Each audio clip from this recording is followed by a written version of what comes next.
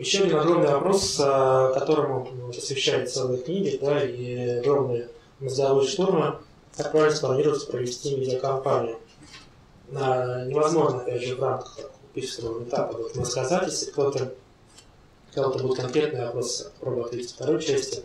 Но очень важный топик, я вот просто взял а, буквально целиком из одной из книг, которую больше ссылок показывал, а, для того, чтобы спланировать правильно медиакомпанию и провести нужно вот просто взять, сесть и очень подробно со своими коллегами и со своими стейкхолдерами и, может быть, даже со своими благополучателями, в зависимости от того, какого направления вашей организации, да, ответить на основные вопросы, с которых состоит медиакомпания. Эти вопросы специально обращены, потому что да, то есть без, без специальных каких-то здесь терминов они присутствуют, потому что на самом деле любая коммуникация, в том числе и посредством рекламы или посредством а, каких-то а, месседжей через СМИ, она все равно, по сути своей, является общением. Что вы общаетесь с человеком в лифте или в кафе, что вы общаетесь с, с какой-то массовой аудиторией, законы более-менее одни и те же. Да?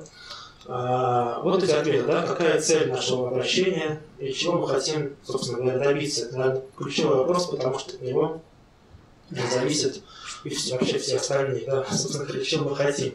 Да, потому что если мы хотим, если цель нашего обращения сделать мир добрее, то мы проиграем, да, точно совершенно. Мир добрее мы не сделаем. А, Иисус Христос, мне кажется, не очень добрее сделал мир. Вот, а, может быть, сделал, ну, то есть вот это вот такого уровня задачи, да, с которым точно не справиться. Задачу нужно очень сильно и хорошо конкретизировать и максимально э, сужать цель своего сообщения, и сообщение будет максимально как бы, острым, ярким и понятным всем.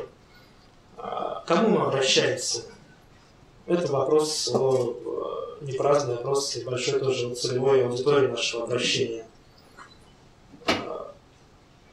Не всегда нужно не всегда полезно искать крупную целевую аудиторию. Да, скажем, мы хотим выйти на первый канал, потому что 98 покрытий будет страны и мы сообщим, когда все получится. Во-первых, на первый канал мы, скорее всего, не выйдем, но большинство из нас подавляющее. Поэтому мы не покроем своим сообщением всю страну, да, для того, чтобы в ней нашлось несколько человек, которые нас поддержали. А, во-вторых, э, есть очень мало действительно таких общих э, сообщений, общих, общих месседжей, которые бы удовлетворили всю любую аудиторию. Поэтому и что коммерческие бренды, что некоммерческие, да, пытаются на своей аудитории тоже максимально сузить. Ну, там, да, вот на, изначально стратегия для компании Apple известно складывалась с того, что они выбрали свою аудиторию гиков, там, да, каких-то арт, там, художников, и обращались непосредственно к ним.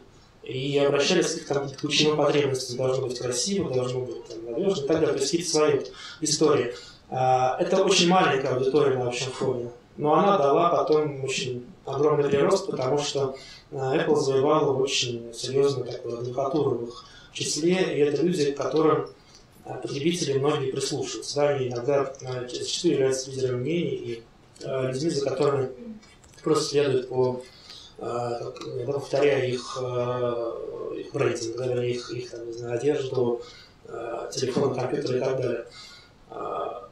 Вот если правильно выбрать аудиторию, то сообщение до нее дойдет, и более того, если правильно выбрать аудиторию, сообщение, сообщение может дойти до более широкой аудитории через какие-то вот смежные э, промежуточные миры да, и э, соприкосновений. Правильно ли выбрано место и время разговора, где когда это сделать лучше? Здесь речь идет о э, том, как э, выбрать каналы, медиаканалы, да, пресловутые Медиаканал – это все, посредством чего можно общаться с своей публикой. Это может быть газеты, журналы, ТВ, радио. А, есть, помимо каналов, еще какие-то носители, на которых можно разговаривать с публикой. Да? Можно выпустить, повесить билборд, можно написать аналитическую статью, можно э, запустить какую-то небольшую э, социальную рекламу по радио, на телевидении, снять интересный ролик. Совершенно разные есть э, истории, все это вместе медиакомпании. То есть коммуникация это не только о журналистике, да, это не только о том, что журналисты должны рассказывать о вас. Это очень такое, такая комплексная история. И иногда бывает некоторых целей эффективнее не писать в газету, да, а обращаться напрямую к аудитории, к чувствам, скажем, через социальную рекламу или через какую-то форму типа телемарафона, если есть такая возможность, да, скажем, если нужно собрать деньги, то не всегда публикация в СМИ эти деньги принесет, если цель очень конкретная.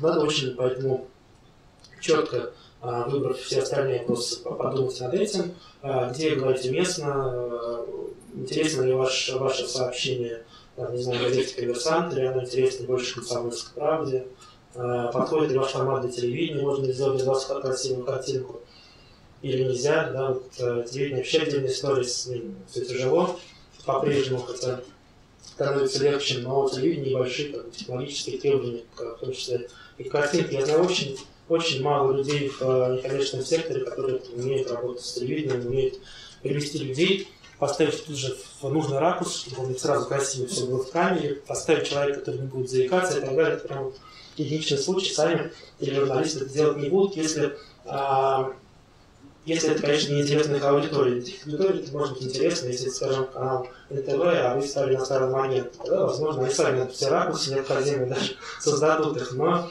я думаю, что это не та ситуация, в которой мы хотим оказаться. А, следующая история про месседжи, да, про, про,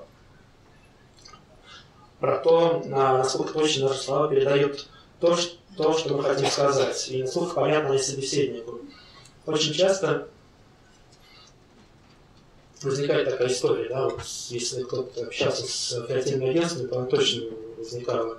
А, мы хотим сказать одно, то есть мы понимаем одно про, про, про свою работу, а креативные агентства совершенно что-то другое выдают. И не знаю, кто там что-то креативненькое изобразят, какую-нибудь вау-компанию, которая будет противоречить нашему принципу, там, основному не навреди. Кто скажет как-то что-то не точно, да, ну вот мы, конечно, спасаемся в этом, правильно говорите, но вот ну, не совсем так. Ну, ну, не совсем об этом, да? И вот это вот, вот эта контроверсия, это противоречие между людьми, которые со стороны, и нами, которые очень хорошо понимают в своей теме, возникает постоянно, возникает именно потому, что мы не можем подобрать правильных слов для того, чтобы на для стороннего человека выразить точно то, что мы хотим сказать. И работать этими словами, да, потому что должна идти постоянно, перманентно, и это не, не какой-то одноразовый процесс, собрались, придумали лозунг, и дальше на флаг и ходим с ним. А, по поводу каждого мероприятия, каждой нашей идеи нужно, мне кажется, вырабатывать набор этих вот а, слов, не знаю, образов, понятий, представлений, и они должны просто отскакивать. А в любовь туда чуть меньше проблемы и с журналистами, и с э, людьми из мира креатива. Ну и, наконец, мы должны понимать, э, каким образом мы измерим да, эффективность нашей коммуникации. То есть, вот, что мы хотим от нашей аудитории, от э, тех, кому мы пытаемся рассказать о себе, что мы хотим от них получить, во-первых, это мы вначале об этом думали, и получение какого результата станет для нас приемлемым. Да? Вот мы задумали медиакомпанию в э, СМИ, написали кучу материалов, будет ли правильно э, считать эффективность компании с помощью количества публикаций. С одной стороны, да, такой нормальный, самый простой количественный метод, берем какие-то открытые источники, берем Google, находим тестовые упоминания, подсчитываем и все хорошо, но что дальше? Да, что изменилось? Повысилась ли посещаемость не знаю, нашего сайта, повысились ли наши пожертвования, случилось ли то вообще, что мы ожидали, там, было ли количество какой-то публикаций э, негативных или позитивных, а, в, правильно ли все поняли журналисты, а, не перебрали ли наши слова. Вот анализ всех этих историй помогает нам понять уже по результатам, правильно ли мы все сделали и скорректировать наши дальнейшие поступки. Ну, конечно, очень хорошо, когда этот процесс управляем, когда мы действительно заранее уже, насколько профессионально, заранее знаем, чего будет, чего кто напишет, о чем и как, препода, как подаст. Да? А, для этого важно, например, а, очень вести очень подробную базу журналистов. Ну, не просто вот база СМИ, как часто бывает с там, газеты, коммерсант, телефон 8905, там, 390, адрес такой-то, почта редакция такая-то, как правило, письма такого рода уходят никуда, тем более в больших медиа, где люди занимаются очень разными вещами, не всегда понятно, кто именно занимается социальной тематикой. Вот, а именно базу журналистов, журналистов, которые один раз уже написали, или как-то вы их там, нашли, каким-то своим каналом, один раз пришли на ваше мероприятие, вы написали о нем. А, то есть люди, которые либо на эту тему пишут, либо заинтересованы, и а, можно также отслеживать, сколько часто они вас пишут, сколько они часто отвечают на ваши письма, там, да, были ли публикации а, точными или не очень точными, негативными или позитивными и так далее. Тут с помощью такого подробного анализа можно будет предсказывать будет реакцию от ваших сообщений, если будете знать, с кем вы общаетесь, через какие каналы, кто реализует э, ваши сообщения. Ну и заодно при анализе результатов вашей медиакомпании можно посмотреть, какие эффекты были управляемы, то есть то, что действительно вы спровоцировали, какие эффекты были неуправляемы, независимыми от вас. Ну, собственно говоря, я уже почти все рассказал о том, что на этом слайде присутствует. Можете просто еще отдельно добавиться этот список. Следующая тема, которая тоже, к сожалению, пройду по верхам, но для того, чтобы э, тоже как бы обозначить мое представление о том, каким образом можно в информационном поле работать, не просто работать в информационном поле, а себя делать таким информационным оружием. Надо понимать, что это работает не только пиар в классическом его понимании, не только связь журналистов, в том числе, не только работа СМИ.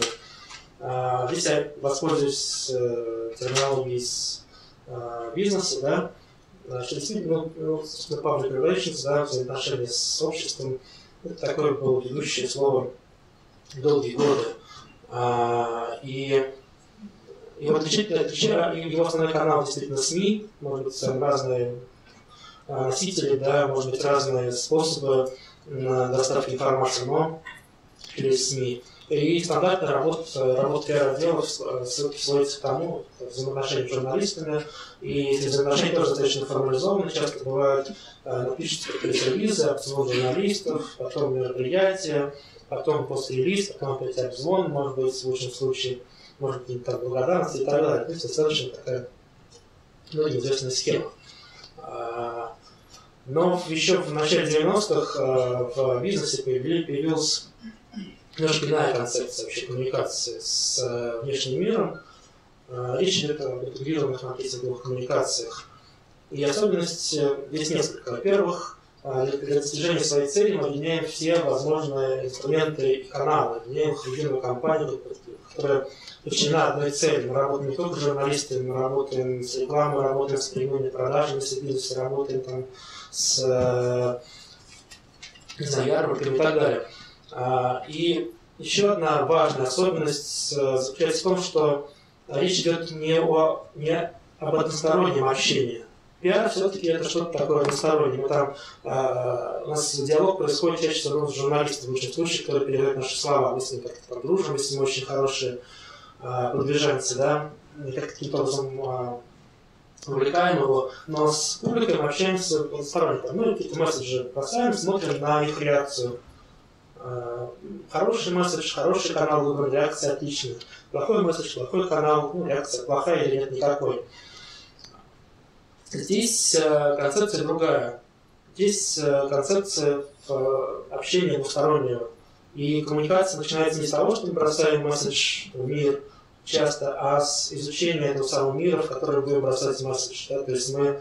А, это тоже очень важно. Например, как, какие месседжи будем бросать, опять, посвященные социальному сродству, если мы не знаем, а, каково отношение общества к этой проблеме. Да? Какие месседжи будем бросать о прав... в мир о правозащите, каких-то очень там, деликатных темах правозащитных, если мы не знаем, каково отношение общества вообще к этой теме в целом.